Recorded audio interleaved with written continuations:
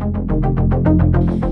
everyone, Mojo here, and today we're going to be doing some more Mojo News.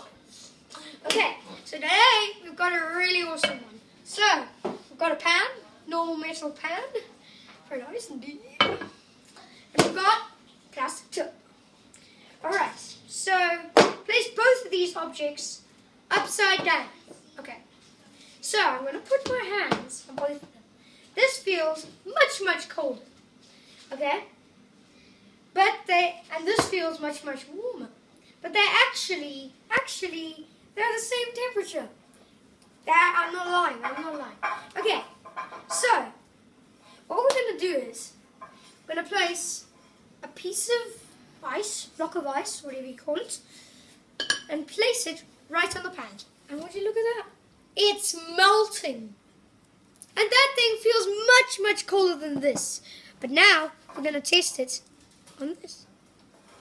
And remember, they're both the same, same temperature. But look, it's not melting. Whoa. Okay, so here we go. The, the reason for this is, so when I place my hand on top of the metal pan, it transfers the heat to underneath from my hand to underneath. Alright? So then there's warm air underneath and it's just waiting. Okay?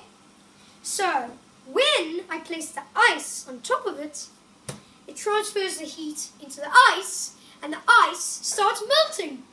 But this is plastic and doesn't transfer anything. Boring.